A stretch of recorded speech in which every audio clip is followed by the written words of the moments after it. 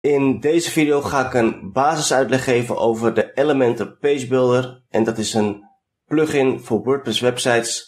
En daarmee kun je heel snel en gemakkelijk websites maken. En hoe het dus allemaal werkt, dat ga ik uitleggen in deze video. En als je een WordPress website hebt, dan ken je dit scherm waarschijnlijk wel. En je wilt Elementor gebruiken, dan zou je deze eerst moeten instellen als een plugin. En om dat te doen kun je gewoon hier klikken in het menu op plugins. Dus dan klik je erop. En nu zie je een overzicht van alle plugins die je al geïnstalleerd hebt.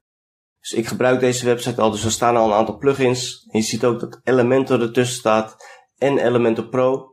En het verschil tussen deze twee is dat de bovenste, dat is de gratis versie, die kun je gewoon installeren vanuit WordPress, vanuit het dashboard. En de Pro versie, de naam zegt het eigenlijk al, dat is dus de Pro upgrade.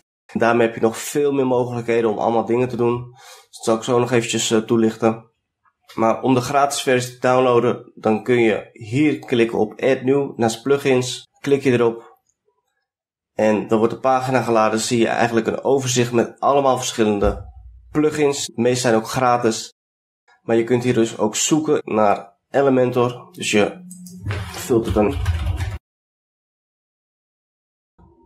En dan zie je dat als de pagina geladen is, dat hier bovenaan met dit logo zie je de Elementor website beelden staan. En hier staat het eigenlijk al. Je kan van alles mee doen. Het is een drag-and-drop page builder. Dus dat wil zeggen dat je gewoon op het scherm onderdelen kunt slepen en uh, verschuiven en aanklikken. Dus je hoeft niks te coderen. Dat is juist het grote voordeel van dat het heel makkelijk is uh, om te gebruiken.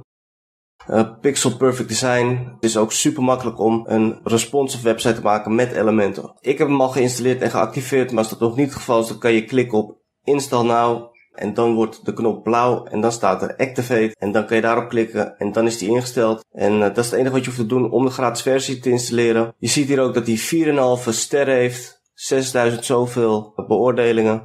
En je ziet ook hier dat hij al meer dan 5 miljoen actieve installaties heeft. Het wordt gebruikt door uh, professionals, door bedrijven, maar ook door uh, beginners. Om de pro-versie te installeren, dat werkt iets anders. En je kan hier ook zien op de website dat op de handige linkspagina. Als je naar beneden scrolt, zie je ook een uh, korte uitleg over Elementor. En als je naar de website wil gaan om die pro-versie te downloaden, dan klik je hier op de knop.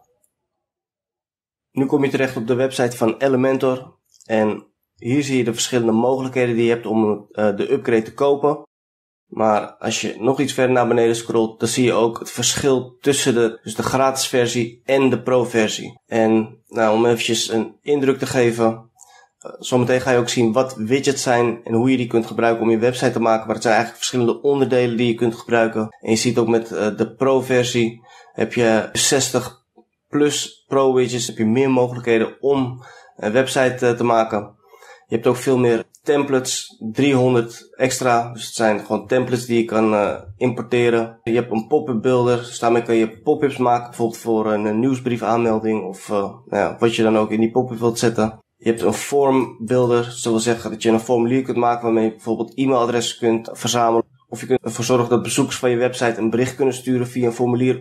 En je kan de WooCommerce builder gebruiken. En WooCommerce, dat is eigenlijk een plugin die je installeert op je WordPress website. Dus met WooCommerce kun je webshops maken. En op het moment dat je de pro-versie van Elementor hebt, dan kun je dus ook heel makkelijk die pagina's, je productpagina's, de afrekenpagina's, al dat soort dingen kun je dus heel gemakkelijk met Elementor ook designen kan dus niet met de, gratis versie. En je hebt premium support, dus dat wil zeggen dat je ja, snel en goed geholpen wordt.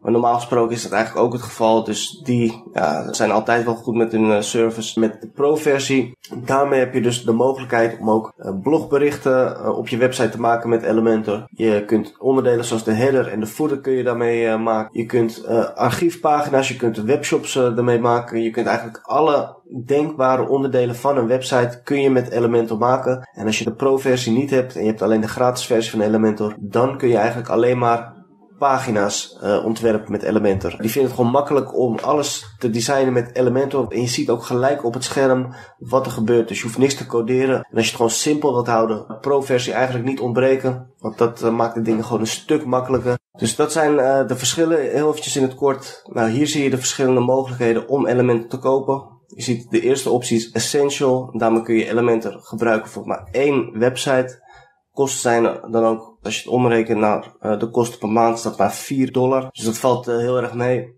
De volgende optie is interessant op het moment dat je meerdere websites hebt of je wilt elementen gaan gebruiken voor meerdere websites. Deze kan je gebruiken voor 25 websites en die kosten zijn 199 dollar per jaar.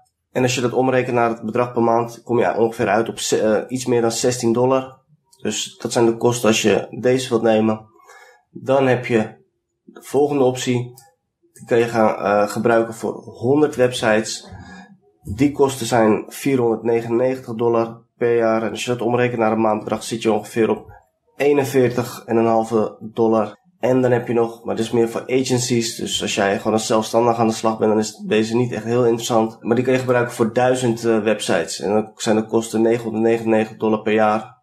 Dus dat zijn de opties. Maar waarschijnlijk heb je zoiets van, nou, ik wil eerst gewoon eens testen als je helemaal nieuw bent. Of het iets is.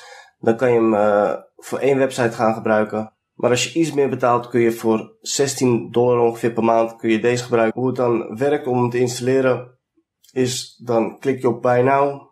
Vul je gegevens in. Je kunt hem kopen met, uh, met je creditcard of met PayPal. En als je dat gedaan hebt, dan krijg je ook toegang tot je account. Kun je gewoon inloggen. En wat je dan doet, ik ben hier ook al ingelogd in uh, mijn account.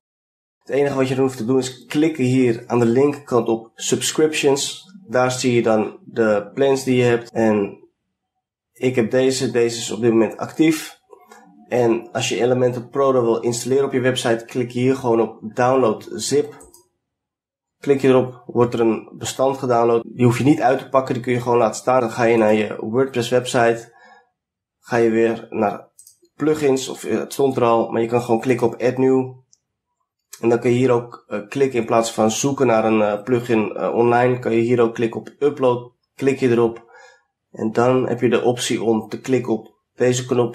En als je dat doet, dan kun je dat bestandje wat je net gedownload hebt, die kun je dan selecteren. En dan klik je gewoon op install. En daarna, als dat gedaan is, hoef je alleen maar te klikken op de knop activate. Dus dan kun je hem ook gebruiken. Zo werkt het. Maar ik heb het dus al geïnstalleerd, dus dan ga ik niet die stappen nog een keer doen. Maar uh, dat was even om een beeld te geven.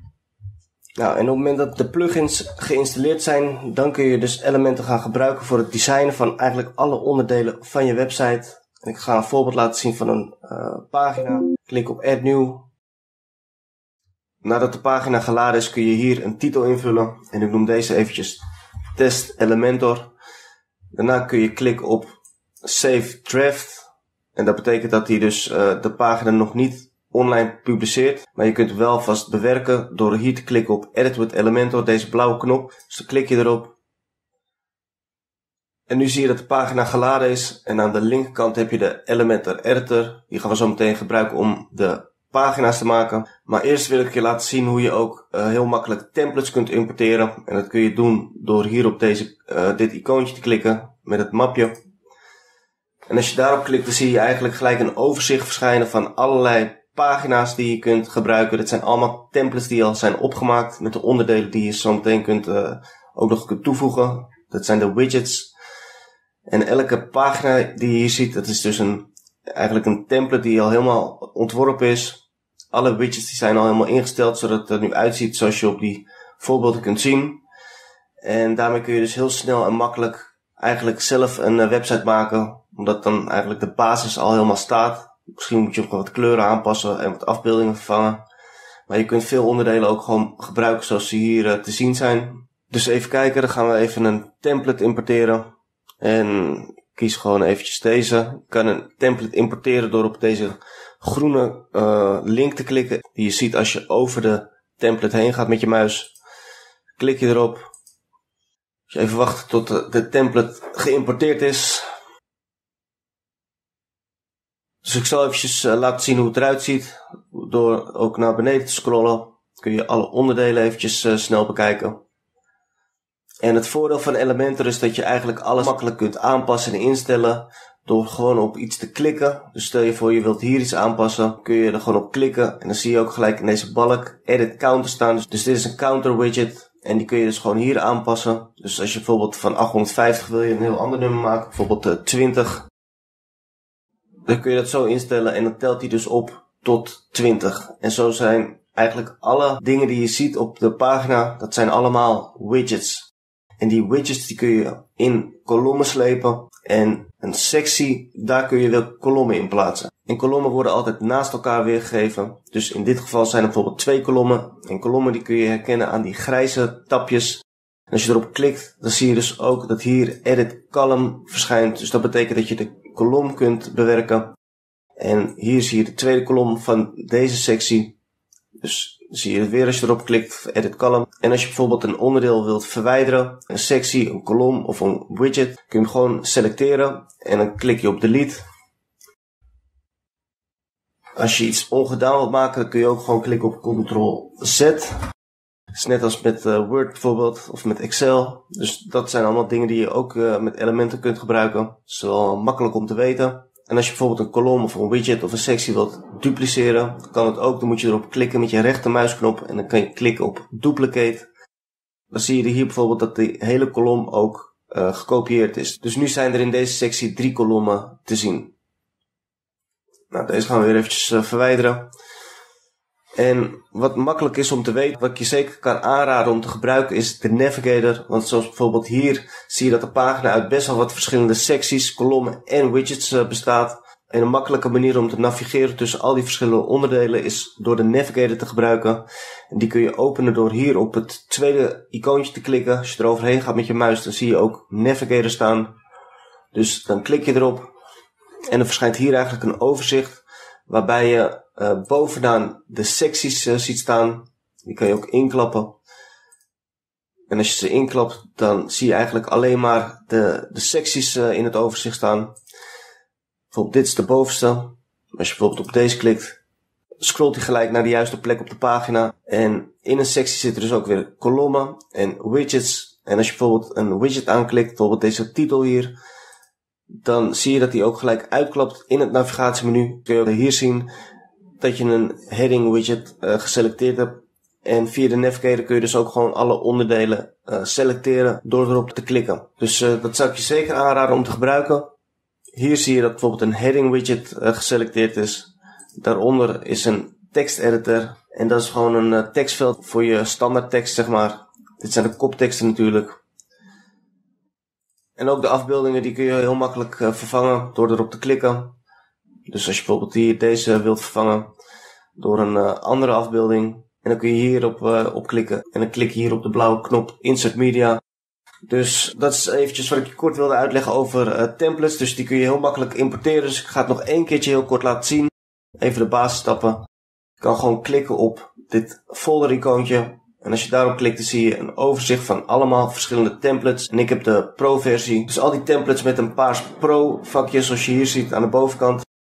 Die kun je alleen gebruiken als je de pro-versie van, uh, van Elementor hebt. En degene die dat niet hebben, die kun je ook gewoon gebruiken met de gratis versie van Elementor. Om nog even een voorbeeld te geven. Als je een template hebt gevonden, klik hier op Insert. Dat je ziet als je eroverheen gaat. Dan kun je hem gewoon toevoegen. En zo kun je dus ook, wat ik nu doe, meerdere templates inladen. En dan kun je bijvoorbeeld, als je gewoon een bepaald onderdeel van een template uh, wil gebruiken, dan kan je de rest gewoon verwijderen. Zodat je alleen die dingen kan gebruiken op je pagina die je wilt.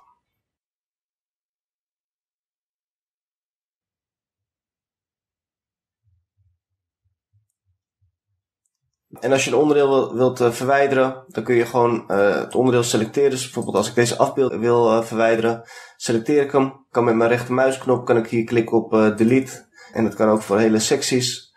Dus zo kun je eigenlijk alle onderdelen ook weer verwijderen van je, van je pagina.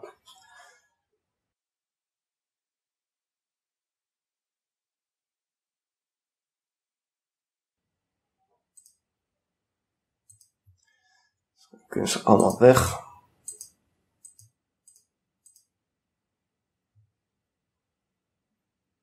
Daarom is uh, trouwens de Navigator ook handig. Dit is een goed voorbeeld.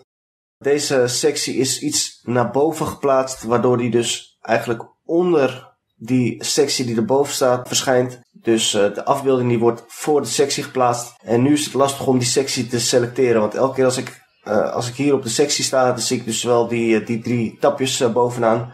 Maar zodra ik er overheen ga met mijn muis, dan ja, gaan die weg. En daarom kun je dus ook uh, de navigator gebruiken. Want dan kan je gewoon hierop klikken. En dan zie je dat ook de sectie geselecteerd is. En dan kan ik ook klikken op delete. om uh, die sectie bijvoorbeeld te bewerken of te verwijderen. En nu hebben we nog één sectie over en die uh, kan ik trouwens ook gewoon verwijderen. Dus nu hebben we weer een lege pagina. En nu wil ik gewoon eventjes laten zien hoe je zelf dus secties kunt opbouwen. En hoe je ze kunt maken met widgets en kolommen en dat soort dingen. Dus stel je voor je wilt een, bovenaan de pagina wil je gewoon een, één sectie met één kolom. Kun je daar bijvoorbeeld door hier op dit icoontje te klikken met die stipjes dan kun je een overzicht zien van alle widgets die in Elementor beschikbaar zijn. Dus uh, bijvoorbeeld hier heb je een, uh, een heading. Maar je kunt bijvoorbeeld ook een afbeelding kun je eronder plakken. Deze stond er nog van, het, uh, van de template van net. Bijvoorbeeld het is een kleine, maar je kan ook een grotere afbeelding zou je kunnen plaatsen. En zo kun je dus elke afbeelding plaatsen die je wilt. Kun je bijvoorbeeld wat tekst kun je eronder eh, zetten.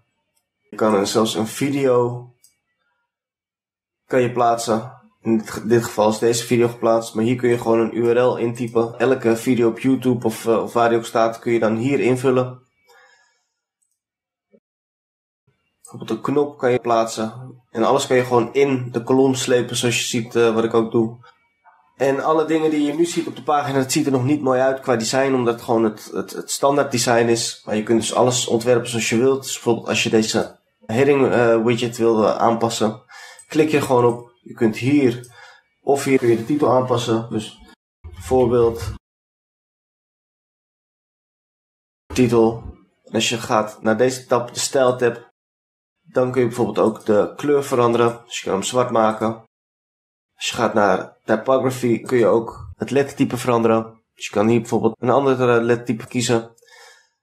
En dan uh, kun je ook nog uh, de grootte van de tekst kun je aanpassen. Je kan hem kleiner maken. Of je kan hem groter maken. Je kan ook door hiermee te slepen. Als je wilt kun je ook tekst in het midden van de pagina plaatsen. En je zou bijvoorbeeld ook wat ruimte kunnen toevoegen. Daarvoor ga je naar deze stap, de laatste. En als je hier bij margin kijkt, dan zie je dat je hier ook een waarde kunt invullen. Dan kan je bijvoorbeeld uh, pixels toevoegen. Dus als je bijvoorbeeld zegt uh, 50 pixels, dan zie je dat er nu 50 pixels boven, onderaan en ook aan de zijkanten zijn toegevoegd. Maar als je bijvoorbeeld alleen uh, boven of, of onderaan de widget ruimte wil toevoegen, dan kan het ook. Zet ze weer op 0. Dan moet je eerst hier op dit klikken. En nadat je erop geklikt hebt, kun je ook alle waarden kun je nu onafhankelijk van elkaar invullen. Dus dan kun je bijvoorbeeld hier alleen bovenaan doe je 50. En dan zie je dat er 50 pixels ruimte wordt toegevoegd. En dan kun je het bijvoorbeeld ook alleen onderaan doen. En zo ziet het er al uh, weer anders uit als het standaard uh, design. Zo kun je dus eigenlijk alle onderdelen kun je dus helemaal aanpassen. Je kunt bijvoorbeeld deze afbeelding, je kan ook de Groot kun je helemaal aanpassen als je wilt. Een schaduw uh, kun je toevoegen.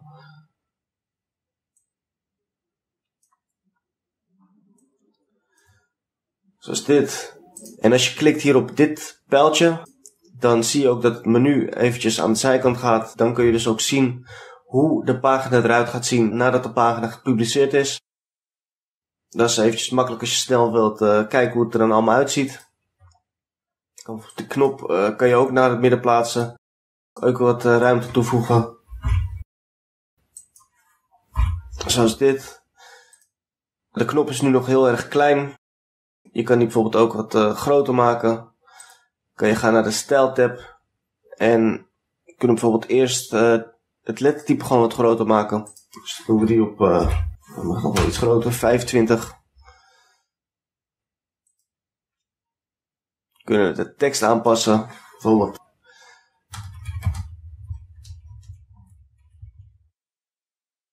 Hier kun je dan een link invullen voor de knop. Dat kan een affiliate link zijn of een, gewoon een link naar je eigen website van een andere pagina of een, een pagina van een andere website. Dus je kunt gewoon elke willekeurige link, die kan je hier invullen. En als je bijvoorbeeld wat meer uh, ruimte wilt toevoegen, dan uh, kan het ook kun je bijvoorbeeld hier klikken. Nu zie je dat die weer op 0 staat, alle waarden. Dan is er bijna niks meer over van die knop. Maar als je bijvoorbeeld aan de rechterkant 60 toevoegt, links 60 pixels toevoegt en boven doe je 15 pixels. Dan kun je dus ook zien uh, dat je dat helemaal zo kunt instellen zoals je wilt. Dus als je bijvoorbeeld nog iets breder wil, doe je er 80 van maken. En misschien hier 25. 25. En je kan bijvoorbeeld ook, dat die wat ronder is, kun je hier klikken. Als je bijvoorbeeld hond van maakt, zie je dat de knop er nu zo uitziet. En je kan ook hier bij kleur, bij color, kun je de kleur ook uh, selecteren. Als je wil kun je hem ook zwart maken of je kan uh, een andere kleur kiezen. Dat is maar net wat je mooi vindt. En zo kun je dus alle onderdelen heel makkelijk uh, aanpassen. Dus hier aan de zijkant, als je klikt op de 9 icoontjes, dan zie je dus alle widgets die beschikbaar zijn. En ik zal nog eventjes een paar inslepen, zodat je even een beter beeld hebt van wat ze allemaal hebben. En dan doe ik eventjes in een uh, sectie met twee kolommen. Dus ik voeg weer een nieuwe sectie toe. Klik hier op dat plus uh, tekentje. Klik op twee kolommen en nu zie je dat in deze sectie dus twee kolommen te zien zijn.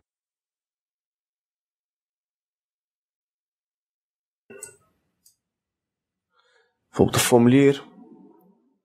Deze kan je gebruiken om, um, om ervoor te zorgen dat je bijvoorbeeld e-mailadressen kunt verzamelen of dat mensen een bericht uh, via je website naar je e-mail kunnen sturen.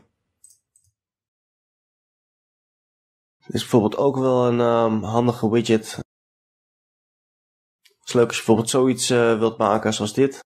Zijn er dan drie, maar je kan bijvoorbeeld ook eentje toevoegen. En dan kun je die ook helemaal opmaken zoals je wil. Dus uh, dan is nu zie je al dat het bijvoorbeeld grijs is, maar je kunt ook een andere kleur selecteren. Je kunt natuurlijk, het geldt eigenlijk voor alles, maar je kunt weer de tekst aanpassen, het lettertype. Dus alles wat je ziet.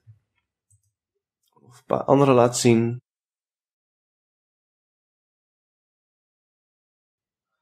Een uh, titel met zo'n effect dat die omcirkeld wordt. Dus als je iets uit wil lichten wat je in je titel hebt staan, dan kun je deze daarvoor gebruiken.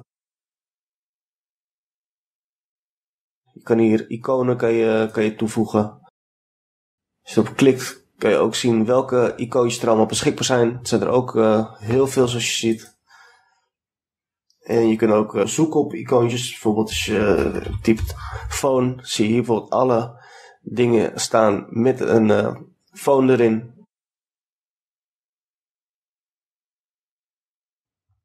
Wat hebben ze nog meer? Dit zijn wat pro widgets die je kunt gebruiken. Dus bijvoorbeeld uh, de forum uh, liet ik je al zien. Prijslijst. Dus die heb je dan. Een flipbox. Het lijkt heel erg op deze, alleen het effect is anders.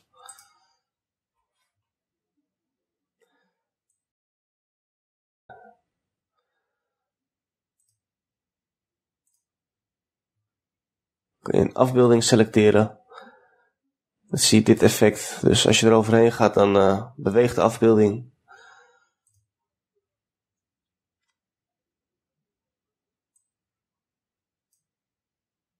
Ja, dit is een uh, media carousel. Dus dan uh, zie je eigenlijk afbeeldingen staan. Die kun je natuurlijk gewoon invullen door erop selecteren, door erop te klikken.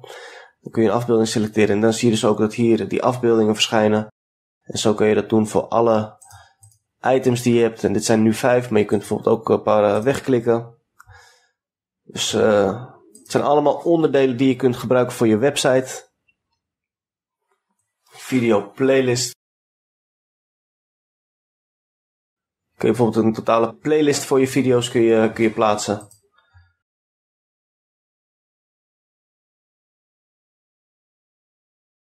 Zo heb je dus echt onwijs veel widgets die je kunt uh, gebruiken. En een testimonial carousel zie je ook vaak dat, uh, dat dit op websites wordt gebruikt. Dus het is gewoon een referentie van iemand.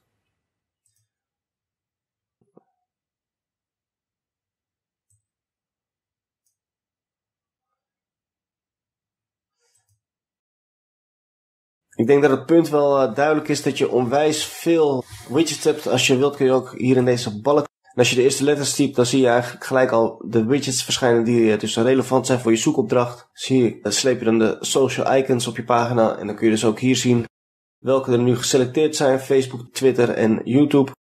En je kunt als je wil ook andere toevoegen. Bijvoorbeeld uh, Instagram of zo. zoek je op Insta. Dan zie je dat ook Instagram is toegevoegd. Zo kun je dus allemaal social linkjes toevoegen of icoontjes. Als je er wil verwijderen, kan je ook gewoon klikken op het kruisje. En op deze manier kun je dus helemaal de pagina's opbouwen zoals je wilt. En hou er dus wel rekening mee dat het standaard design, als je een widget op de pagina sleept, dan ziet het er vaak niet echt mooi uit. Maar daarvoor kun je dus die templates gebruiken. En dan heb je eigenlijk alle widgets al helemaal ingesteld en gesteld. Dat het er gewoon goed uitziet. Dus hier zie je allemaal templates van, van pagina's. Maar je hebt ook nog blocks. Als je daarop klikt, dan zie je eigenlijk allerlei bouwblokken voor specifieke onderdelen. Bijvoorbeeld uh, voor, een about pagina, dus over ons pagina. En zo heb je nog andere onderdelen. Bijvoorbeeld uh, voor contactpagina, contactformulieren. En zo heb je bijvoorbeeld ook, als je bijvoorbeeld een team uh, wilt uitlichten, ons team, of dat soort dingen. En hier heb je bijvoorbeeld ook single product. Als je daarop klikt, kan je bijvoorbeeld een hele pagina of een template importeren voor een uh, webshop uh, pagina van een product. Dus als je het echt snel en makkelijk wilt houden, dan kun je gewoon met templates werken. Maar het is zeker aan te bevelen als je nieuw bent met Elementor door gewoon eens verschillende uh, templates te importeren.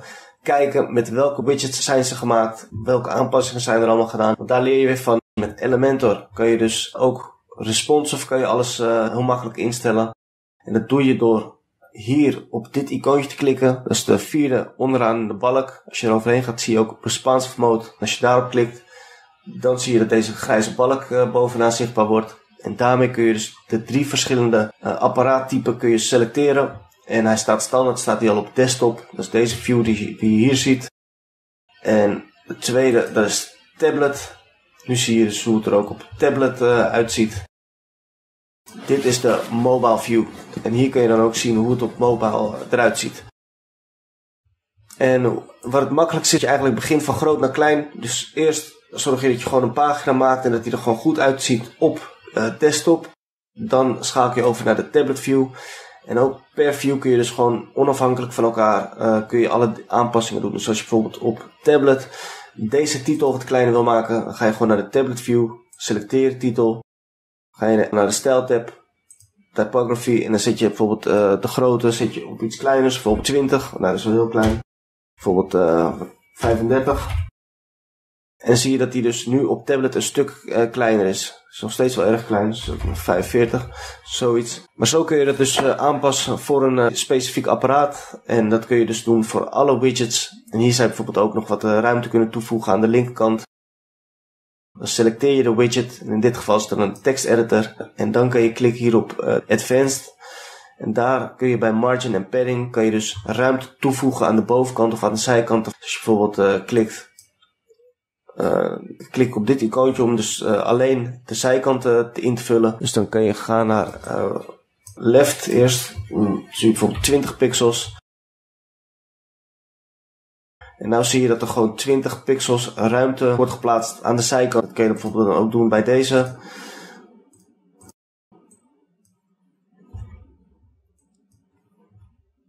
En zo kun je dus voor zorgen, zie je dat hier ook nu 20 eh, pixels is toegevoegd aan de zijkanten. En zo kun je er ook voor zorgen dat alles gewoon mooi met elkaar uitlijnt als je dan overal hetzelfde aantal pixels toevoegt. Zo ziet het er ook al een stuk eh, professioneler uit. En zo kun je dus alles helemaal netjes maken. En als je dat dan gedaan hebt, ga ik nu niet allemaal doen, maar als je dat gedaan hebt, dan ga je naar de mobile view en daar kun je ook weer alle aanpassingen doen. Dus bijvoorbeeld als ik deze wat kleiner wil maken, de titel, selecteer ik hem. Klik nu op typography en dan zet ik hier de grootte op 35 bijvoorbeeld. Als ik de afbeelding wat groter wil maken, want die is wel heel klein nu, kan je klikken op de afbeelding, naar de style tab en dan bij width kan je hem groter maken. Het is bijvoorbeeld wel netjes. Die knop die zou bijvoorbeeld nu wat, eh, wat kleiner moeten, dus ik zou je het lettertype weer wat kleiner kunnen maken. Dus zo kun je dus alles heel makkelijk uh, bewerken. En ook per apparaat kun je dat helemaal instellen. Vergeet niet de navigator te gebruiken. Die kun je dus openen door hier op het tweede icoontje te klikken. Of je klikt gewoon op de pagina met je rechtermuisknop uh, op het scherm. En dan selecteer je de navigator. En die zie je dan hier verschijnen. Dat was in het kort eventjes uh, alles wat je moet weten over Elementor. Dan wil ik je bedanken voor het kijken. Vergeet natuurlijk niet te abonneren en de video een uh, like te geven. Dan wens ik je heel veel succes met het maken van je eigen websites. En dan zie ik je graag terug in de volgende video.